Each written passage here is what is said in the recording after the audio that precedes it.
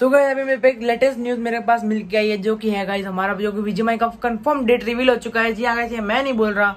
ये जो कि न्यूज़ नेशन जो कि कितना बड़ा चैनल है इंटरनेशनल चैनल है, उसके ऊपर उन्हें सरकार ने खुद बोला है। आप पहले क्लिप देखो, फिर आपसे बात करता हूँ। सीन यूनिल सॉन ने भारत सरकार के फैसले के बारे में जानकारी दी।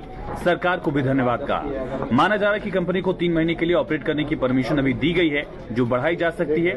इस दौरान इस पर नज़र भी रखी जाएगी। और सूत्रों के मुताबिक जानकारी ये है कि 27 मई से पूरी तरह से ये गेम भारत में भी काम करने लगेगा। तो जैसा कि आपने देखा, ये जो भारत सरकार ने बोला है कि बीजेमआई सत्ताईस मई से आ सकता है और आ जाएगा, उन्होंने तो बोला है, आ जाएगा। और क्या पता आ भी सकता है तो देखते हैं सत्ताईस मई का वेट करते हैं। और आ जाए तो बहुत बढ़िया है and please like and like and subscribe please से कर देना यार एंड अपनी फीलिंग कमेंट में ज़रूर बताना।